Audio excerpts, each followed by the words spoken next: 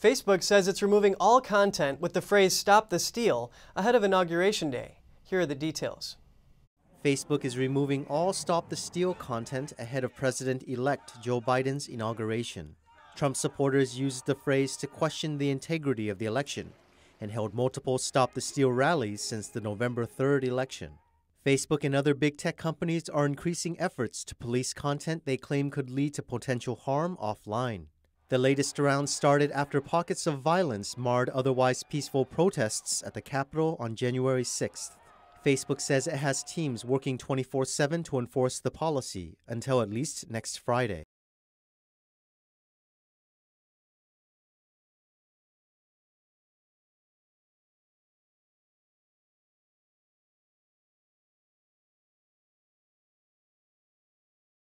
Twitter says it's removed over 70,000 accounts that promoted content related to the QAnon conspiracy theory. Twitter said, We began permanently suspending thousands of accounts that were primarily dedicated to sharing QAnon content on Friday afternoon. The purge started the same day Twitter removed President Trump. The QAnon movement follows clues from cryptic messages posted on an anonymous board online.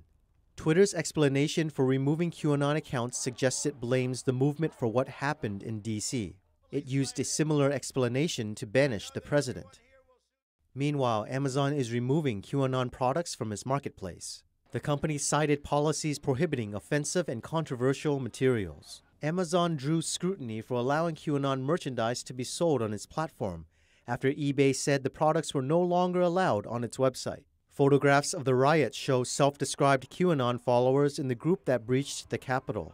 Amazon told the Epoch Times if people try to keep selling the products, they could get their right to sell on Amazon taken away.